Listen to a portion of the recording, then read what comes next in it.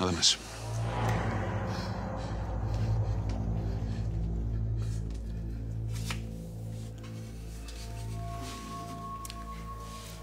Mi hermano estaba vivo cuando me habló de esa granja. Mi hermano estaba vivo y estaba muy asustado. Quiero saber por qué estaba asustado. Míreme a los ojos, señora. Míreme a los ojos. Quiero saber qué le hicieron a mi hermano. Tiene hijos. Hágalo por sus hijos. Me dio mucha pena. Yo no quería, pero... Cállate. Cállate. ¿Hay algo que... algo que yo pueda recuperar de él?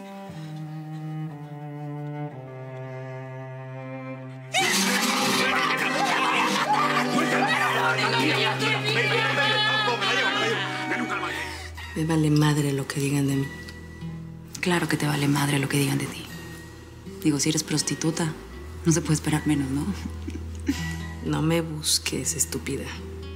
Podrás ser muy cardona, pero yo te puedo partir la madre. Hoy no. Qué horror, Irene. Violencia no. Es lo que menos se acepta en esta casa. ¿Así tratabas a Anastasia? Dime una cosa. Aquí entre nos. ¿Es cierto que a Anastasia la prostituías? Yo te lo iba a decir. Yo te lo iba a confesar porque yo no quería que... Justamente que pasara esto. Solo que no me dio tiempo ese día que... Perdóname. Te perdono. Claro que te perdono. Pero a cambio te voy a pedir dos favores. Lo que tú quieras, dime. Una, aléjate de mi familia. Dos, no vuelvas a visitarme nunca en tu vida. Por lo menos déjame explicarte.